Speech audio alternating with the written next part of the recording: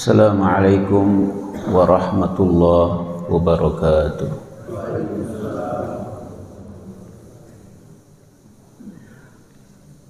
Alhamdulillahirabbil alamin. Hamdan katsiran tayyiban mubarakan fi kama yuhibbu rabbuna wa yarda. Hamdan yuwafi ni'mah wa yukafi mazilah. Nahmadullah ونستعينه ونستغفره ونستهديه ونستنصره ونؤمن به ونتوكل عليه. ونعوذ بالله من شرور أنفسنا ومن سيئات أعمالنا. من يهده الله فلا مضل له ومن يضلله فلا هادي له. أشهد أن لا إله إلا الله وحده لا شريك له. أشهد أن محمدا عبده ورسوله لا نبي بعده. اللهم صل على سيدنا محمد وعلى آل سيدنا محمد كما صليت على سيدنا إبراهيم وعلى آل سيدنا إبراهيم. وبارك على سيدنا محمد وعلى آل سيدنا محمد كما باركت على سيدنا إبراهيم. وعلى آل سيدنا إبراهيم في العالمين إنك حميد مجيد. أما بعد. وقال الله تبارك وتعالى بعد أعوذ بالله من الشيطان الرجيم. واعبد ربك حتى يأتيك اليقين. وقال رسول الله صلى الله عليه وآله وسلم kullu ummati yadkhuluna jannah illa man aba qila wa man ya'ba ya rasulullah qala man ata'ani dakhala al jannah wa man 'asani faqad aba Hadirin yang mulia, kita bersyukur kepada Allah Tabaraka wa Ta'ala.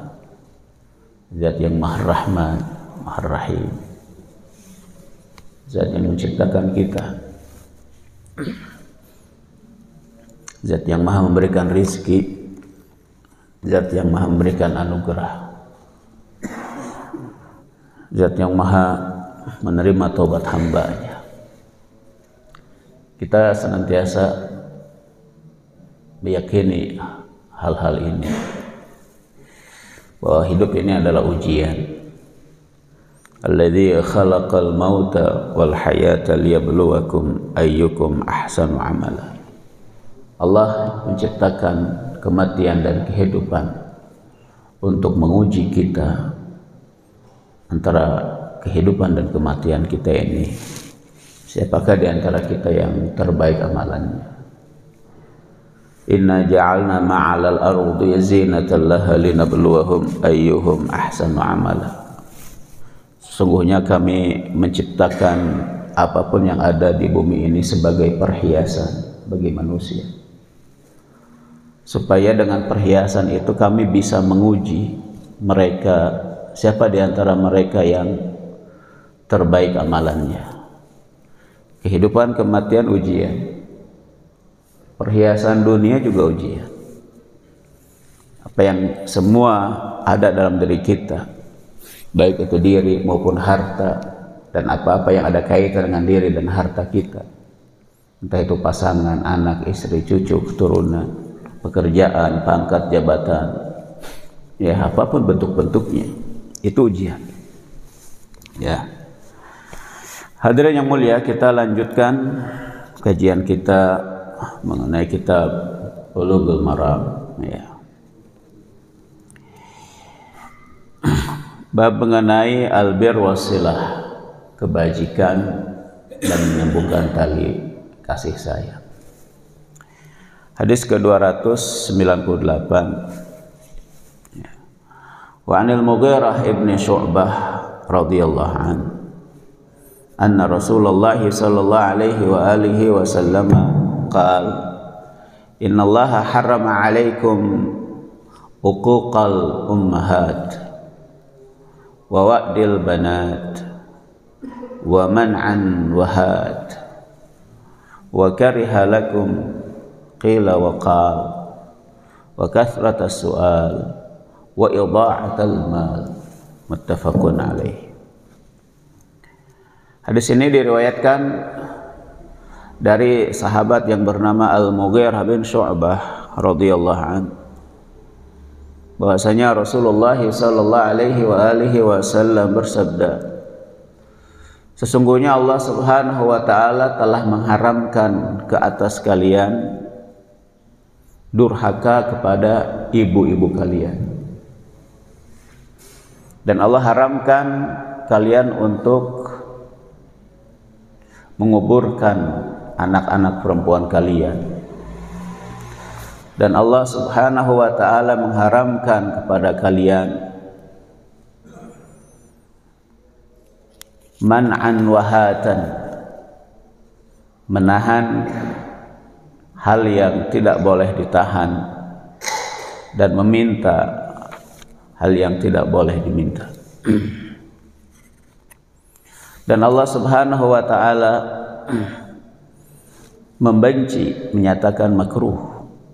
Yang pertama Allah tidak suka kalian berbuat qila wa qal. Yang kedua, Allah tidak suka kalian banyak bertanya atau banyak meminta. Dan yang ketiga, Allah Subhanahu wa taala menyatakan makruh, tidak menyukai membuang atau menyia-nyiakan harta. Hadis riwayat Imam Bukhari dan Imam Muslim. Hadirin yang mulia, ketika kita bicara tentang hal-hal yang diharamkan, maka sebelumnya kita telah bicara tentang hal-hal yang diwajibkan. Seperti contoh rukun Islam, rukun iman. Itu tentu sudah dikaji oleh siapa? Oleh para ustaz, para kiai, para mubalik. Dan Imam Ibnu Hajar al-Asqalani rahimahullah taala sebelum membawakan hadis ini boleh membawakan dulu tentang apa itu kebaikan. Albirru husnul khuluq wal ithmu mahaka fi sadrik wa karahta an yattali'a alaihi nas kebaikan itu adalah kebajikan itu adalah indahnya akhlak baiknya akhlak. Jadi segala bentuk kebaikan itu adalah baiknya akhlak. Seorang berkata baik berbuat baik ya melakukan keputusan baik apa pun bentuk-bentuk kebajikan baik itu hablum minallah hablum minan nas kepada siapa pun itu pada orang tua kita ya kepada kakek nenek kita kepada pasangan kita kepada anak-anak kita kepada orang-orang terdekat kita entah tetangga masyarakat kita ya termasuk kepada pemerintah kita berbuat kebaikan maka kebajikan ini adalah husnul khuluq, baiknya akhlak. Sedangkan dosa itu adalah apa yang mengganjal di hatimu, ditolak sebetulnya oleh hatimu yang paling dalam.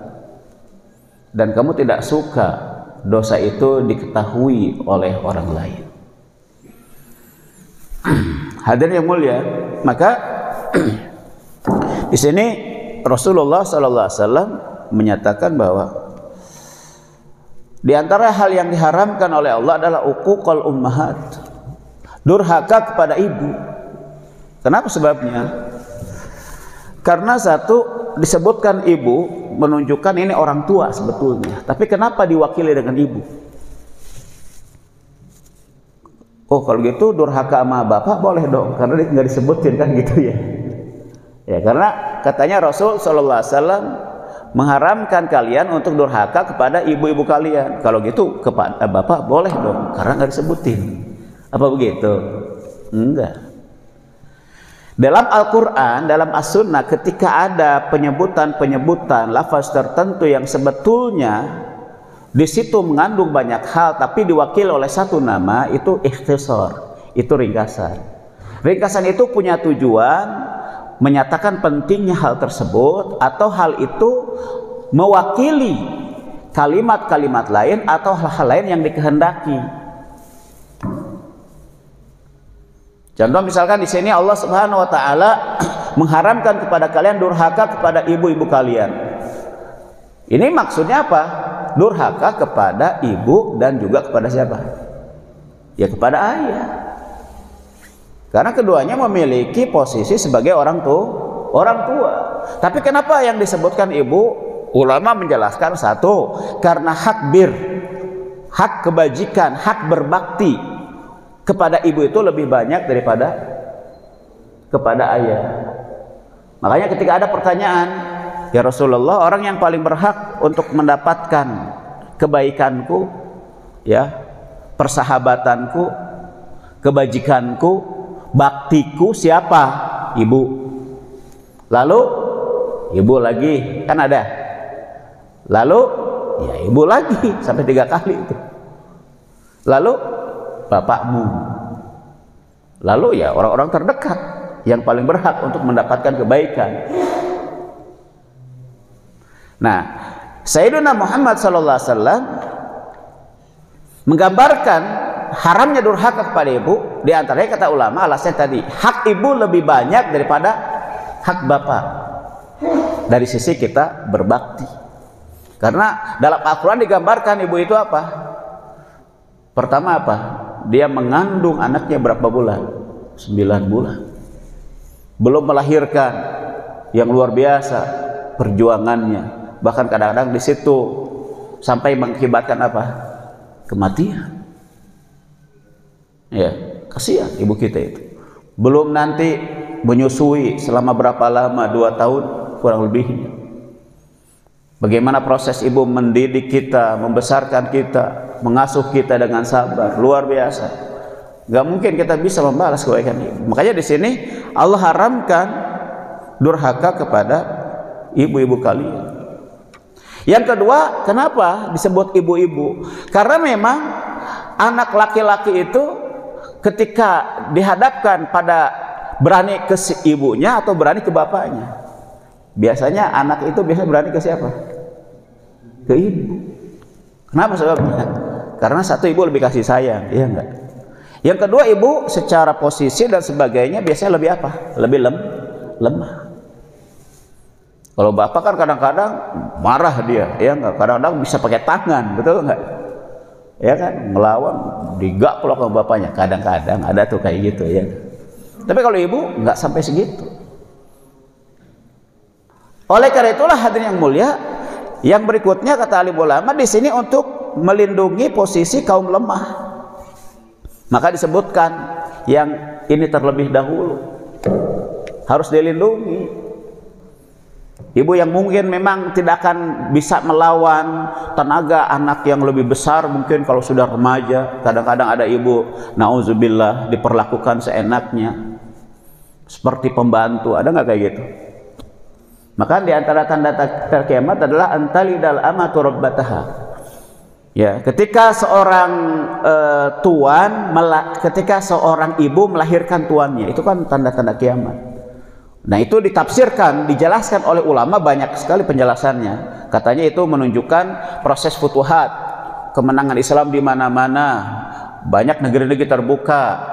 Secara konsek, konsekuensinya ketika negeri terbuka, maka diduduki, dikuasai, harta dikuasai, termasuk manusia dikuasai, adanya sistem perbudakan, kan gitu.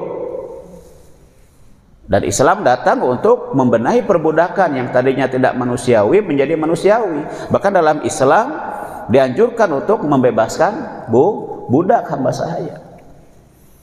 Dalam Al-Quran, dalam As-Sunnah anjuran membebaskan budak, membebaskan budak, membebaskan budak dengan apa namanya, dengan iming-iming, dengan fadilah-fadilah pahala yang luar biasa. Bahkan dalam hadis Bukhari ketika terjadi gerhana matahari atau gerhana bulan di antara yang dianjurkan sedekah dan membebaskan budak. Sampai segitu. Hadirin yang mulia. Sayyidina Muhammad sallallahu alaihi wasallam sendiri ketika beliau wafat, beliau berpesan di antaranya apa? Ummati ummati, mengenai masalah umat. Ya. Karena Rasulullah sallallahu alaihi wasallam hari-harinya beliau berjuang di tengah umat. Ya. Bagaimana beliau mengucapkan ya ayuhan nas qulu la ilaha illallah tuflihu. Hai manusia, ucapkanlah oleh kalian la ilaha illallah. Bersyahadatlah kalian, kalian pasti akan menang. Kalian pasti akan beruntung. tawaran Rasul Shallallahu Alaihi Wasallam ya kembali kepada tadi. Di antara tanda-tanda kiamat adalah apa? Banyaknya wanita-wanita yang melahirkan tuannya. Di antaranya tadi. Si wanita-wanita ini jadi hamba sahaya dimiliki oleh laki-laki digauli melahirkanlah anak-anak ini menjadi tuannya akhirnya. Karena anak ini menjadi bin kepada tuannya ya. Dan di antara tafsir atau penjelasan tanda-tanda kiamat itu adalah banyaknya wanita melahirkan tuannya itu apa? Anak-anak durhaka. Menganggap ibunya sebagai bu budak. Ya itu dia. Dan sekarang terjadi ya banyak ya kejadian-kejadian ibu sendiri kadang disuruh-suruh yang tidak layak. Ya. Ibu ibu seseorang kadang-kadang disiksa bahkan ada yang dibunuh. Nauzubillah min zalik. Dipukul karena ibunya tidak mau apa namanya eh, memenuhi permintaan anak. Terlalu banyak kejadian-kejadian seperti itu kita dengar dalam berita di media massa. Hadirin yang mulia itu yang diharamkan. Ya hukukul ummahat. Ya ber, durhaka kepada kedua orang tua. Dan di antara dosa yang paling cepat dibalasnya ya sebelum di akhirat itu terasa efeknya betul langsung di dunia ini apa? Di antaranya apa? Durhaka sama orang orang tua. Jadi resah gelisah banyak musibah syarat rezeki. Itu kadang-kadang suka terjadi. Kan gitu. Ya kenapa kok banyak harta? Tapi hidupnya resah dan gelisah rumah tangganya nggak beres. Ya di antaranya tadi apa? Durhaka sama siapa? Sama orang orang tua. Usaha saya kok susah-susah maju ya? Kenapa ya? Durhaka sama orang tua di antaranya bisa jadi itu. Ya. Karena dijelaskan oleh para ulama apa aja sih efek-efek buruk ya. Ketika orang itu durhaka sama orang tua terutama kepada ibunya. Allahu akbar. Kenapa sih jadi penyakitan begini? Nah, di antaranya itu ada salah satunya adalah durhaka sama orang tua. Itu yang diharamkan yang mulia. Menunjukkan bahwa hak orang tua dalam Islam itu sangat penting. Ya, makanya dalam Al-Qur'an tentang apa namanya pelarangan untuk menyekutukan Allah setelah itu apa? Perintah untuk birrul walidain berbakti kepada kedua orang tua. Karena berbakti kepada orang tua itu namanya silaturahim menyambungkan tali kasih sayang. Sedangkan durhaka kepada orang tua itu adalah apa? Dianggap qati'ur rahim. Orang yang menyambungkan kasih sayang dengan orang tua dengan cara dia berbakti kepada orang tuanya maka Nabi SAW masih tahu man ahabba an yubsatalahu fi rizqi wa yunsa'alahu fi istri au fi athari falyasil rahimah. Barang siapa yang ingin rizkinya, hartanya diluaskan, diperbanyak dan usianya diperpanjang, maka hendaklah dia menyambungkan tali kasih sayang terutama dengan kaum kerabat. Dalam hal ini terutamanya adalah ayah dan ibu kita, hadirin yang mulia. Sedangkan orang yang dia durhaka pada kedua orang tuanya dianggap qati'ur rahim. Maka ada hadis la yadkhulul jannata qati'ur rahmin. Tidak bisa masuk ke dalam surga orang yang memutuskan tali kasih sayang. Di antaranya apa? Durhaka kepada orang tua. Hadis Bukhari dan Muslim. Pertanyaannya adalah e, bagaimana bentuknya? Apa? Durhaka kepada orang tua. Di antaranya dengan cara apa? Di antaranya adalah diterangkan oleh Imam Az-Zain Al-Iraqi takunul qati'ah bil isa ilar rahim. Memutuskan tali silaturahim bisa jadi adalah di antaranya dengan berbuat keburukan menyakiti kaum kerabat kita. Contoh misalkan kalau orang tua wafat misalkan meninggalkan warisan ya gitu ya kadang tuh warisan tidak dibagi, dibagi padahal ada apa namanya orang-orang yang memerlukan dipegang oleh anak yang paling kaya nggak dibagi-bagi padahal ada mungkin adik-adiknya atau kakak-kakaknya yang miskin-miskin yang dia perlu apa namanya Suka terjadi nggak kayak gitu? Suka terjadi. Ya. Atau menyakiti dalam bentuk-bentuk lain, perkataan, perbuatan dan lain-lain bisa terjadi. Itu kata Imam Zain al-Iraqi. Yang berikutnya adalah kata ulama yang lain bahwa al-qati'ah takunu bitarkil ihsan. Disebut orang itu memutuskan tali silaturahim dengan orang-orang terdekatnya di antaranya apa? Bitarkil ihsan, tidak mau berbuat baik. Apa? Tidak mau berbuat baik. Dia sanggup berbuat baik, tapi dia nggak mengerjakan. Contoh misalkan tahu dia punya punya saudara, adik, kakak atau apa, ayah, ibu dekat, tapi nggak mau datang. Ada nggak kayak gitu? Ada tidak? Ada kan? Dia bisa mendatangi teman-temannya yang jauh-jauh. Tapi di depan mata yang dekat jaraknya, di situ adalah ada hubungan darah dengannya, dia nggak mau datang. Dia punya harta lebih, dengan harta lebih ini harusnya dia bisa berbuat baik kepada orang-orang yang punya hubungan darah, tapi dia tidak kerjakan. Ke orang lain baik dia. Tapi kepada orang yang punya hubungan darah dia tidak berbuat baik. Nah, ini kata alim ulama, meninggalkan kebaikan, tidak berbuat baik padahal mampu kepada orang yang punya hubungan darah dengan kita itu termasuk sebut qati'ah. Itu dianggap memutuskan kasih sayang. Hadirin yang mulia, kenapa bisa terjadi begini? Dalam hadis Bukhari, ya, Imam Bukhari mem, apa namanya? membawakan hadis-hadis tentang hal ini dalam Kitabul Iman. Yang pertama kata Imam Bukhari, al-muslim man al muslimuna min lisanihi wa yadihi. Orang Islam yang sempurna itu adalah ketika orang-orang Islam lain, ketika manusia lain aman, selamat dari akibat buruk dari perbuatan dia maupun dari ucapan dia dari ucapan dia maupun dari perbuatan dia Imam Ibnu Hajar al Asqalani menerangkan bahwa secara kuantitas, secara jumlah iman Islam kita itu jumlahnya bertambah banyak Ya, kapan? Ketika kita mampu kaful azan. Menahan diri dari mengganggu orang lain.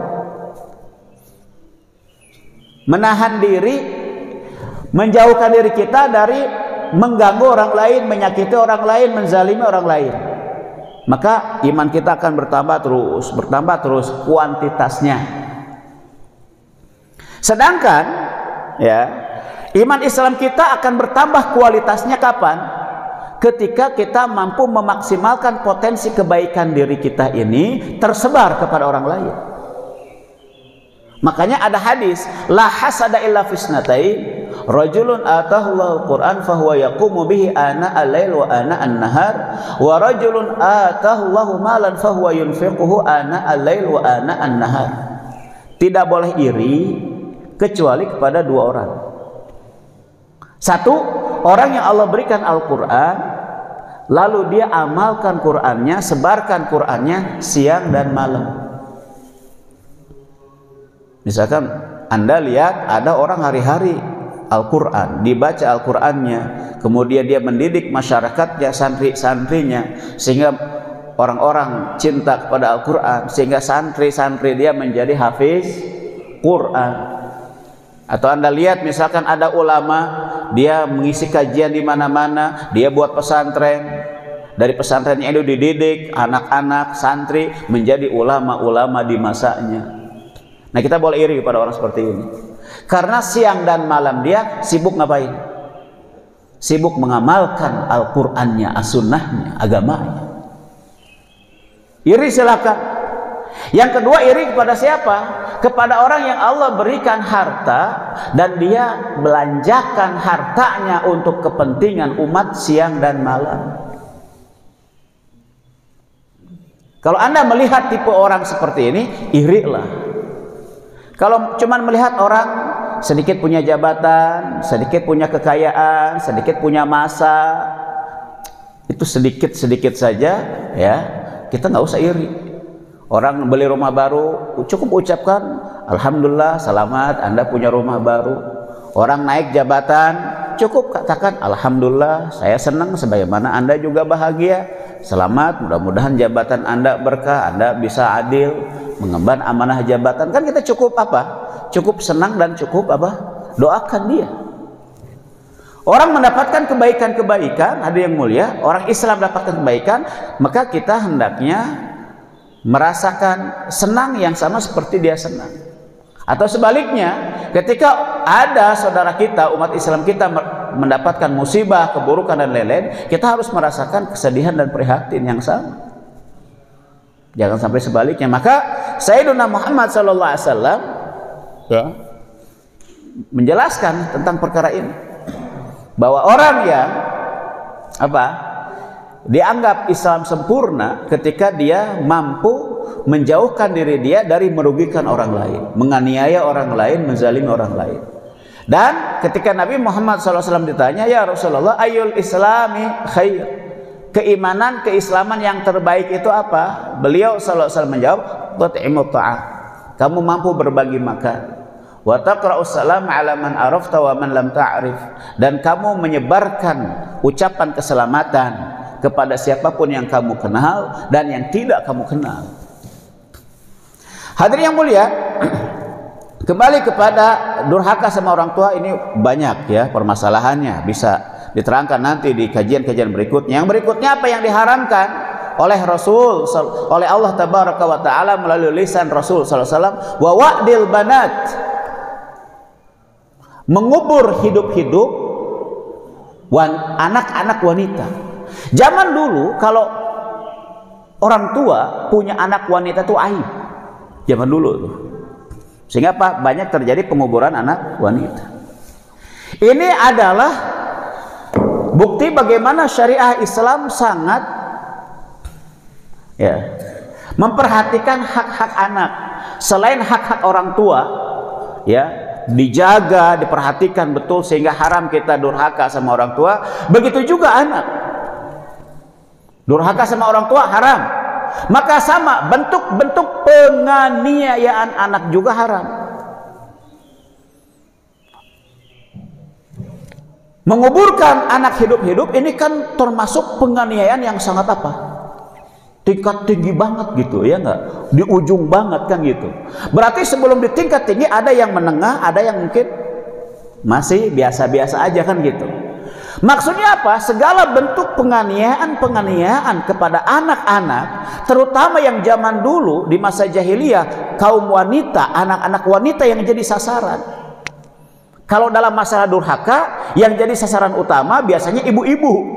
Makanya disebut untuk ibu-ibu ya nggak? Mak-mak di sini. Di dalam masalah penganiayaan kepada anak yang banyak menjadi sasaran disebutkan di antaranya di sini apa? Anak-anak perempuan.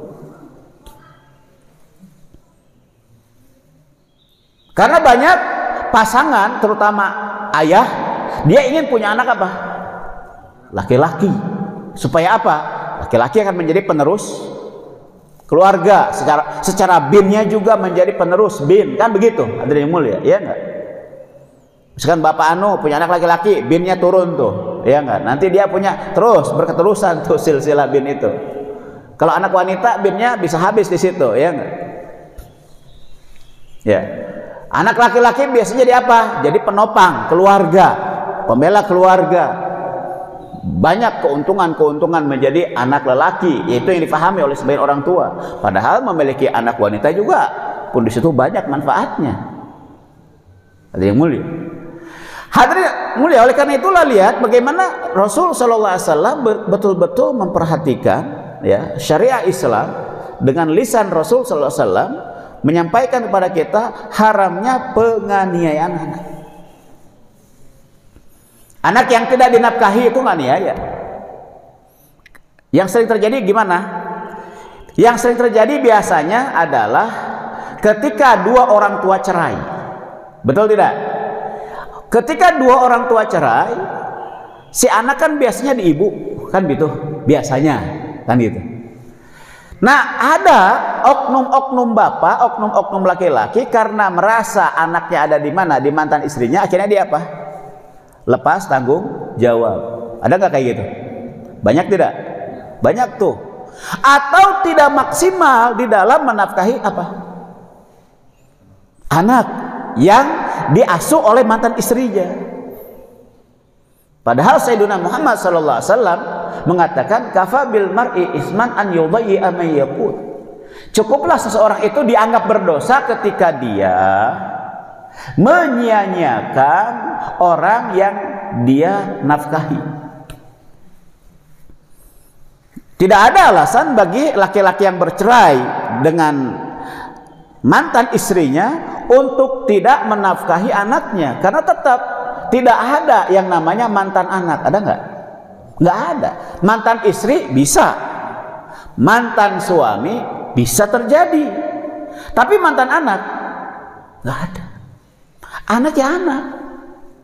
Ketika anak dia ikut mantan istri, maka laki-laki tetap dia wajib menafkahi anak tersebut sampai selesai baik itu makannya, sandang, pangan, papan, pendidikan, kesehatan, wajib. Karena syariah Islam memberikan hak anak itu luar biasa. Hak warisnya tetap wajib ditunaikan walaupun dia hidup di mantan istrinya. Ya. Karena hak waris anak itu ada. Ini contoh.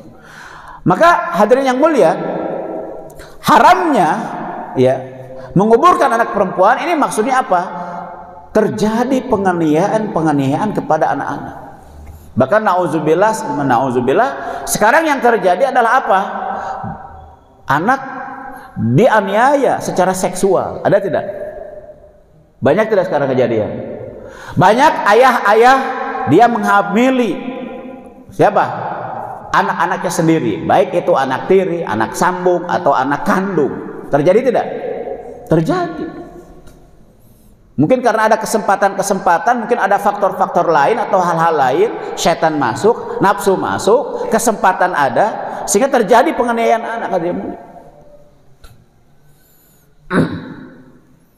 Maka Sayyidina Muhammad sallallahu alaihi wasallam dari sejak awal mengasih tahu kepada kita kalau anak itu lahir didik dengan baik. Dimulai dengan apa? Saat kita mulai menggauli istri kita bacalah doa. Allahumma jannibna syaitan wa jannib syaitan ma razaqtana Kemudian ketika anak itu dikandung oleh ibunya, maka bagaimana ibunya menjaga betul janinnya dengan senantiasa melaksanakan perintah-perintah Allah, sunnah-sunnah Rasul sallallahu alaihi wasallam, sering beribadah, berkata yang baik, melihat yang baik, berpikir yang baik sehingga itu nanti efeknya turun ke anak. Sering baca solawat, baca jikir, baca hadis saat anak itu ada di kandungan sehingga itu pengaruh tuh kepada siapa? Kepada anak tersebut. Hadirin yang mulia, ya seperti itu.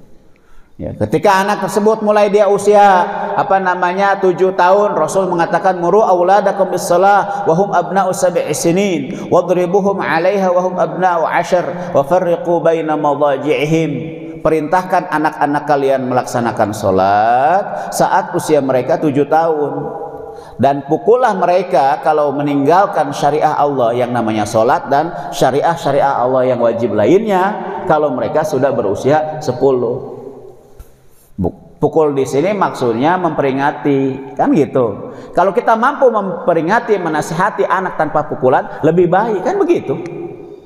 Ya. apakah menasihati anak harus dengan pukulan? Enggak Cuma ada tipe-tipe anak setelah dinasehati bla bla bla bla nggak mempan juga, maka akhirnya terpaksa harus diapain? Ya sedikit dipukul kan begitu. Cuma kalau zaman sekarang mukul-mukul anak apa ketahuan aja dia apa namanya direkam masuk apa? Hukum penganiayaan anak penjara akhirnya. Ini kan yang terjadi sekarang ini kan serba salah juga kan gitu. Bukan bukannya Islam ini menganjurkan kita untuk mukul anak, bukan. Islam ini menganjurkan kita untuk mendidik anak menjadi putra-putra terbaik, manusia-manusia yang soleh. Segala macam cara sampai terpaksa harus mukul dalam syariat Islam dibuka ada tuh caranya. Bukan berarti kita disuruh mukul, bukan. Disuruh mendidik, mengarahkan, mengkader, regenerasi. Supaya anak-anak kita menjadi manusia-manusia yang beriman, menjadi orang-orang Islam yang sempurna keislamannya, menjadi orang-orang yang bermanfaat terbaik di bidang masing-masing, bermanfaat untuk diri, keluarga dan umatnya, maka dibuatlah berbagai bentuk cara-cara pendidikan. Ya. Dan yang mulia. Ini kalau kita cerita tentang anak banyak lagi. Yang berikutnya apa? Rasulullah sallallahu alaihi wasallam juga mengatakan Allah mengharamkan kepada kalian man'an wahad. Apa itu man'an wahad? Ya. Ulama mengatakan mana'a ma amarallahu bihi an yu'ta. Menahan hal-hal yang Allah perintahkan untuk diberi. Contoh, suami dia wajib nggak ngasih nafkah? Wajib, wajib tidak? Wajib ya. Ketika ada suami, dia punya kemampuan ngasih nafkah, misalnya dia punya gaji bulanan. Gaji bulanannya misalkan tidak diberikan kepada anak dan istri sehingga anak istrinya susah. Maka ini yang termasuk yang diharamkan. Kenapa? Dia telah apa? Menahan sesuatu yang diperintahkan oleh Allah untuk apa? Dikeluar, dikeluarkan, diberikan. Contoh lagi, ketika orang itu sudah sampai dalam harta nisab dan haul, dia wajib bayar apa? Wajib bayar zakat. Begitu ya yang mulia. Ketika ada orang dia wajib bayar zakat, di tanggal yang ditentukan dia sudah wajib bayar zakat, tidak diberikan. Ah, itu diharamkan. Apalagi misalkan orang punya kewajiban bayar. Apa misalkan? Utang. Misalkan ada orang dia punya perjanjian dengan orang tertentu atau dengan institusi tertentu atau apalah bentuk-bentuknya dia minjem dan dia mengatakan dalam akad awalnya setiap bulan tanggal sekian paling maksimal saya akan cicil selama sebulan, dua bulan, dua tahun, tiga tahun, ada nggak kayak gitu? Ada kan? Berarti ketika dia telah berjanji untuk mengeluarkan hartanya di tanggal sekian dengan janji tersebut tanda tangan teken kontrak maka turunlah dana pinjaman kepada dia. Berarti apa? Berarti dia telah mengontrak dirinya kepada orang lain di tanggal sekian tiap bulan keluarin duit wajib. Betul tidak? Nah, saat dia punya uang itu dia tidak keluarkan, maka itu masuk kategori apa? Haram tidak? Haram. Sehingga ada hadis Bukhari, matlul ghani zulmun. Menunda-nunda pembayaran bagi orang yang mampu itu kezaliman. Orang yang dia tidak bayar hutang, padahal dia ada untuk bayar hutang, itu zalim, itu minal kabair, termasuk dosa besar kata Rasul. Imam Ibnu Hajar Al-Haytami dalam kitabnya Babul Kabair membawakan itu dan ulama-ulama lain. Seorang bos, seorang bos, pemimpin perusahaan atau pemimpin usaha, misalkan dia telah berakad kepada karyawan-karyawannya, tanggal 1 maksimal tanggal 3 dibayarkan apa? gaji karyawan begitu ya? Ya kan? Itu kan akadnya. Uang ada tidak ada alasan untuk tidak mengeluarkan tapi dia tahan. Haram tidak? Haram tidak? Haram kenapa dalam kemampuan dia untuk bayar dia tahan tuh dia tahan zakatnya, dia tahan gaji orang, dia tahan nafkah kepada anak istri. Sehingga anak istri susah Anaknya susah nggak bayar SPP. Dipanggil akhirnya sama pihak sekolah. Kasihan. Anak yang seperti itu kemudian kadang-kadang disindir. Kasihan dia.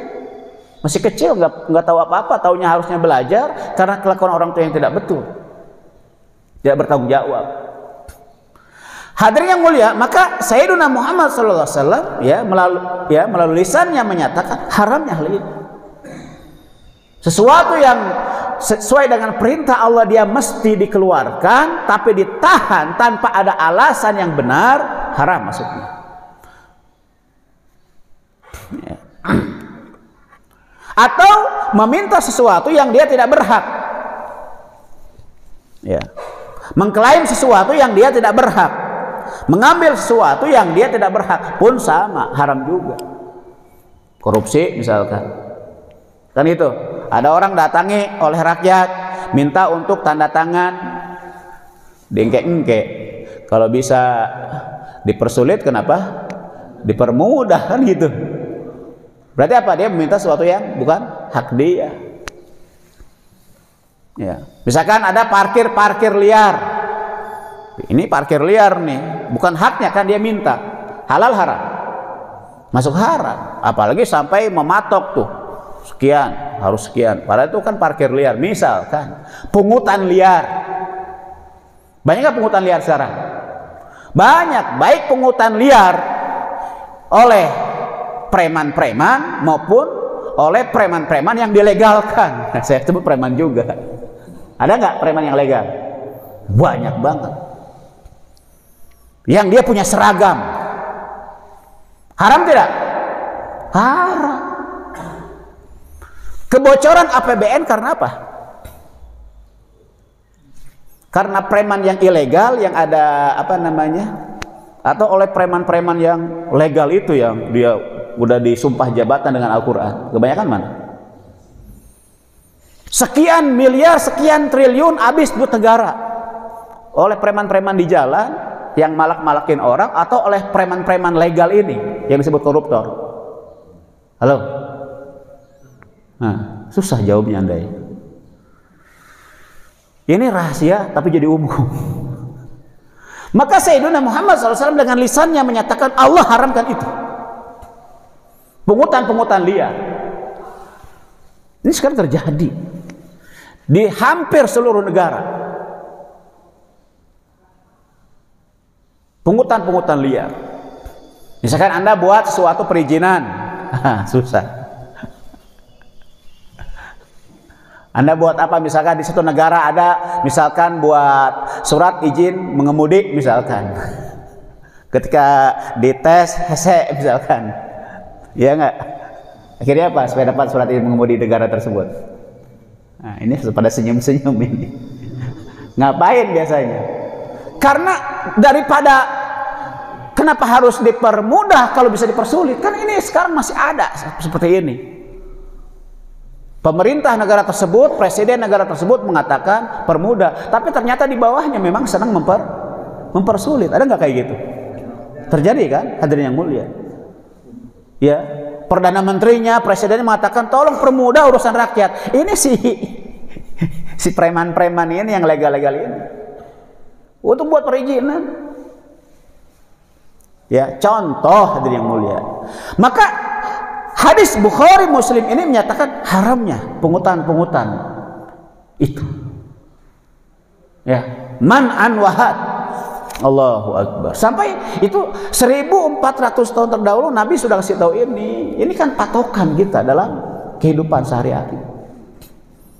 Yang berikutnya dan Allah Subhanahu wa taala tidak menyukai kalau tadi yang tiga diharamkan, yang sekarang tidak disukai. Berarti mendekati haram juga nantinya lama-lama. Apa yang tidak disukai oleh Allah untuk kalian kerjakan? Qila wa katanya katanya. Katanya-katanya ini menurut alim ulama dijelaskan. Ya. Apa itu? Qila wa qal adalah satu kasratul kalam li anal kasrah taul ilal khata. Banyak bicara. Banyak bicara. Karena banyak bicara itu makin banyak bicara makin banyak apa? Banyak salah. Maka kita bicaralah seperlunya. Berlebihan bicara kurang bagus, tidak mau bicara juga nggak bagus. Ah, saya mau puasa bicara, termasuk sama anak istri, boleh nggak? Ya jangan atuh. Ya, ah saya kayak kayak Nabi Anu ah nggak mau bicara selama tiga hari, ya nggak? Ya paling masa kita datang ke masjid diajak bicara? nggak begitu dong. Pak Haji, Damang, masa cuman gitu-gitu? Ini jadi ini Haji milu aliran naon deh kan gitu. Ya berlebihan bicara tidak bagus tidak mau bicara sehingga menimbulkan pertanyaan kok ini orang di, di, di apa disapa? Tidak apa tidak menjawab kan jadi nggak bagus akhirnya hubungan bak tidak bagus. Itu yang pertama. Kila wakol ini adalah banyak bicara yang nggak perlu-perlu. Beda kalau banyak bicara untuk keperluan majelis taklim presentasi untuk hal-hal yang diperlukan di masyarakat misalkan misalkan ini penyuluhan ini dokter atau apa ini pemerintah bicara kepada rakyatnya agak sedikit banyak boleh tidak kan menjelaskan diperlukan tapi kalau nggak perlu jangan Seperlunya aja bicara itu. Yang kedua, ya, kila wakol ini adalah al-bahsu an aqawilin nas allati la jadwa minha. Suka membahas, mendiskusikan yang terjadi di tengah manusia yang sebetulnya nggak ada manfaat. Terutama di media sosial ya. Suka terjadi nggak ya? Di up, di share, ya nggak? Hal-hal yang nggak manfaat. Betul tidak?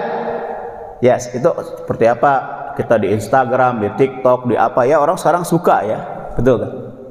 Nggak ada manfaatnya, tapi diapain? Dibahas di ini, di itu, dipertontonkan. Allahu Akbar. Sekarang yang jadi masalah ini adalah contoh tadi eh, kemarin saya lihat ada ada berita ada anak ditabrak oleh truk yang tidak mau apa namanya tidak mau berhenti. Itu anak kenapa begitu? Kasihan dia. Demi buat kon konten. Sampai segitunya kan hanya untuk supaya apa ya dia bisa buat konten kontennya dilihat orang ada viewernya gitu ya dia meng, apa namanya membahayakan dirinya dan membahayakan juga orang lain padahal Islam jelas mengatakan la darar wa la tidak boleh membahayakan diri tidak boleh membahayakan orang lain karena lawannya apa? Bermanfaat untuk diri, bermanfaat untuk orang lain. Sehingga ada hadis, khairun nas anfa'uhum linnas. Sebaik-baik manusia yang paling bermanfaat untuk manusia yang yang lain.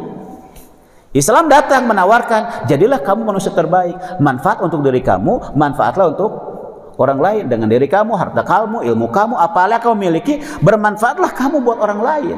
Sebaliknya apa? Jangan buat bahaya, jangan merugikan, jangan zalim, jangan aniaya kepada diri maupun kepada orang lain. Hadir yang mulia, maka kila wakol yang kedua adalah apa? Membahas hal-hal yang sifatnya lagi update, yang nggak manfaat sebetulnya. Dibahas terus, dibahas terus. Sehingga yang harusnya pembahasannya cukup sekali diulang-ulang, ulang-ulang. Suka terjadi kayak gitu nggak? Terjadi. Ya, kalau misalkan pembahasannya sesuai keperluan, khair. Misalkan contoh nih ada kemarin kita dengar apa salah satu putranya gubernur kita ya Kang Emil ya. Apa tenggelam katanya di mana? Di Sungai Swiss ya, di Bern apa namanya? Nah, gitulah pokoknya Maya. Kan kita turut berduka juga ya kan. Kita sebagai anak bangsa, apalagi beliau adalah gubernur kita, ya kita prihatin juga. Ya kita berdoa juga Mudah-mudahan Allah berikan yang terbaik, solusi terbaik buat Kang Emil dan putranya yang sekarang nggak tahu nasibnya gimana. Apakah masih hidup? Apakah sudah wafat? Cuman MUI mengatakan secara apa namanya e, fakta di lapangan dengan kondisi sekian hari, sekian hari, sekian hari dipastikan apa? Wafat sehingga ada anjuran sholat go gaib. Boleh silakan sholat gaib. Di mazhab Syafi'i sholat gaib sunnah. Di mazhab Imam Abu Hanifah nggak ada sholat gaib. Seperti itu. Nah, alhamdulillah datang di airnya. Minum dulu. ini ini silaturahim ini ya enggak. Lagi aus datang air. Ini silaturahim ini. Minum dulu ya hadirin. Ya.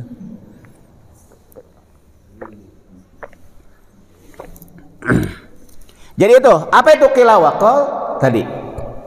Yang berikutnya apa itu e, sesuatu hal yang di, tidak disukai oleh Allah? Kila wakil itu apa? Hikayatul ikhtilaf fi masail syara' min ghairi tathabut wala ihtiyat.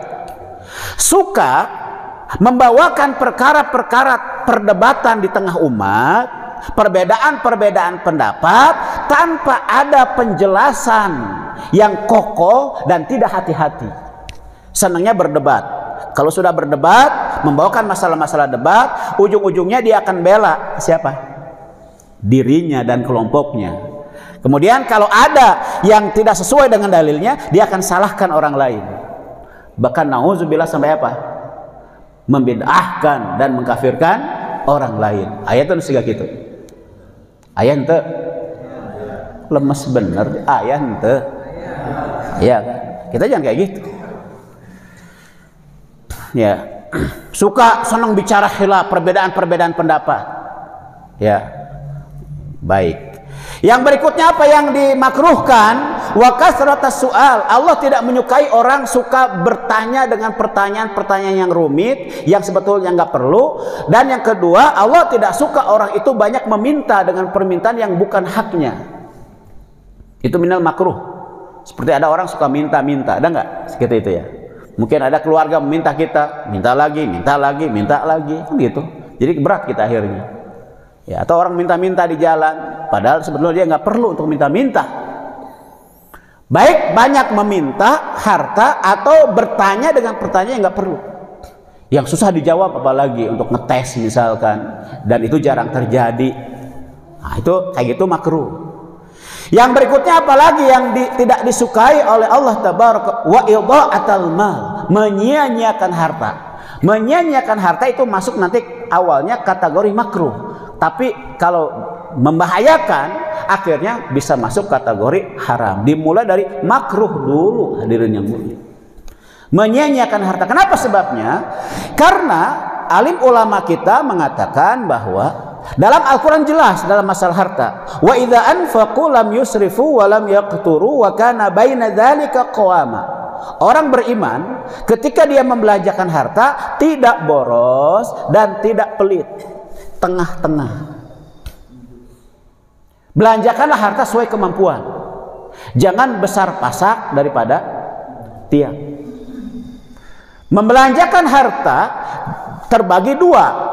Satu Mahmud terpuji ketika kita membelanjakan harta sesuai dengan aturan yang baik.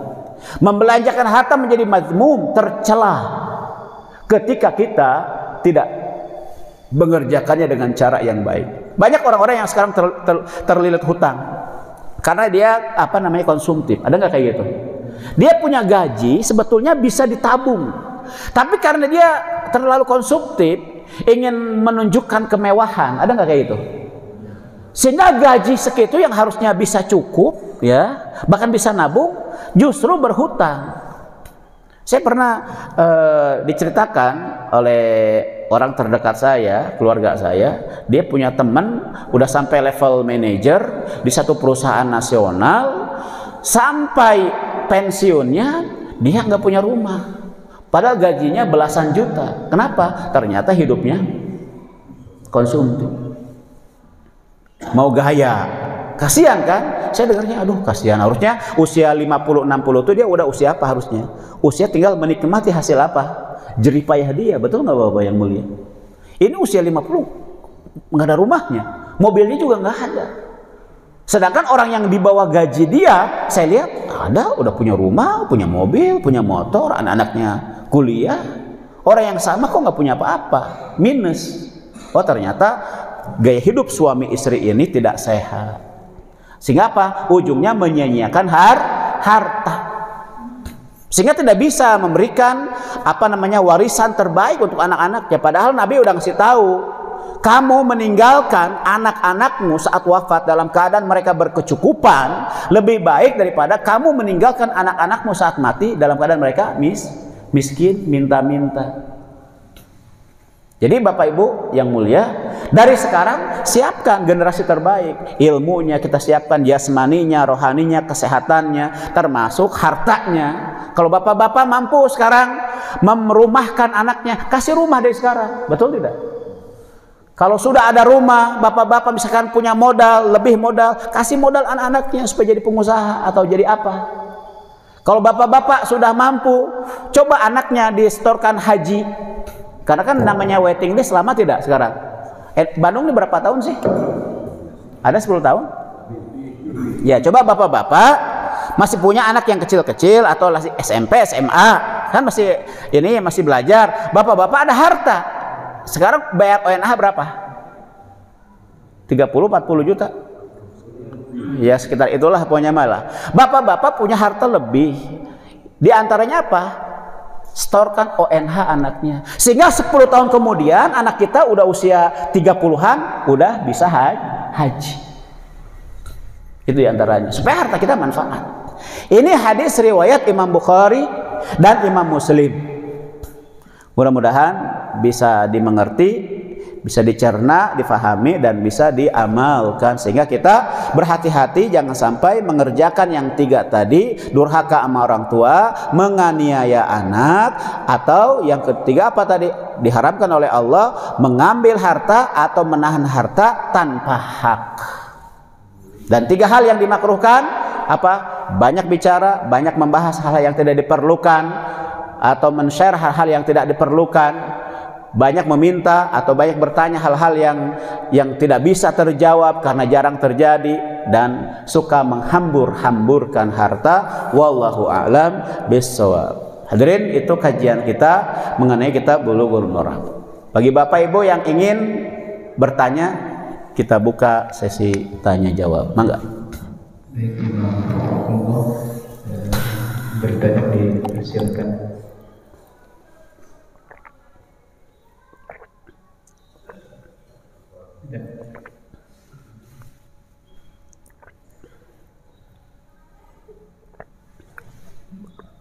silakan bertanya sudah cukup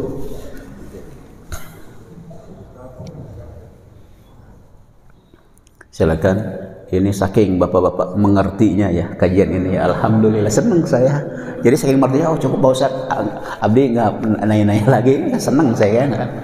Alhamdulillah. Tinggal mengamalkan ya bapak ibu yang mulia. Baik. Baik. Jadi hadirin ya mudah-mudahan ini jadi ilmu yang bermanfaat ya.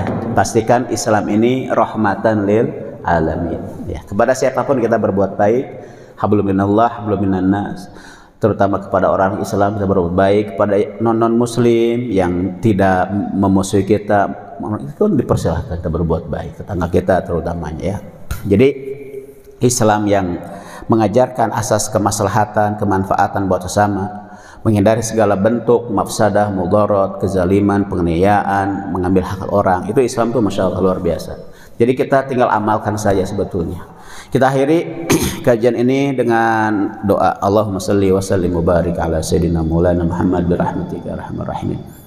اللهم اجعل جمعنا هذا جمعا مرحوما يا رب وتفرقا هذا من بعد تفرقا معصوما غير شقي ولا محروما. نسألك علما نافعا ورزقا واسعا وشفاء من كل داء. نسألك رضاك والجنة ونعوذ بك من سخطك والنار. اللهم انصر الإسلام والمسلمين وأعز الإسلام والمسلمين وقوي الإسلام والمسلمين وعليك اللهم بأعدائك أعداء الدين. اللهم عذب الكفر الذين يصدون عن سبيلك ويكذبون رسلك ويقاتلون أولياءك. اللهم ألف بين قلوبنا. اللهم ألف بين قلوبنا. اللهم ألف بين قلوب المسلمين وأصلحنا وأصلح ذات بيننا. واهدنا سبل السلام ونجنا من الظلمات إلى النور. وجنبنا الفواحش ما ظهر منها وما بطن. وبارك لنا في كل شيء أعطيتنا. اللهم إنا نعوذ بك من جهد البلاء وترك الشقاء سوء القضاء شماتة الأعداء. نعوذ بك من الشرك والكفر والشك والشقاق والنفاق والأخلاق نعوذ بك من علم لا ينفع قلبا لا يخشى نفسا لا تشبع عند لا يسمع. نسألك من الخير كل عاجله وآجله ما علمنا منه ما لم نعلم. ونعوذ بك من الشر كل عاجله وآجله ما علمنا منه وما لم نعلم. ربنا آتنا في الدنيا حسنة وفي الآخرة حسنة وقنا عذاب النار ودخلنا الجنة مع الأبرار. يا عزيز يا غفار يا رب العالمين. وصلى الله وسلم وبارك على سيدنا محمد. برحمتك يا أرحم الراحمين. بسم الله الرحمن الرحيم والعصر إن الإنسان لفي خسر إلا الذين آمنوا وعملوا الصالحات وتواصوا بالحق وتواصوا بالصبر سبحانك اللهم بحمدك أشهد أن لا إله إلا أنت أستغفرك وأتوب إليك السلام عليكم ورحمة الله وبركاته